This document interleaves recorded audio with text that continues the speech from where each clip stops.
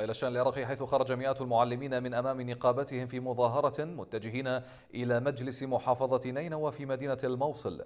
وذلك للاحتجاج على استمرار قطع رواتبهم وعدم صرفها منذ ثلاثة أعوام أثناء سيطرة تنظيم داعش على مدينة الموصل.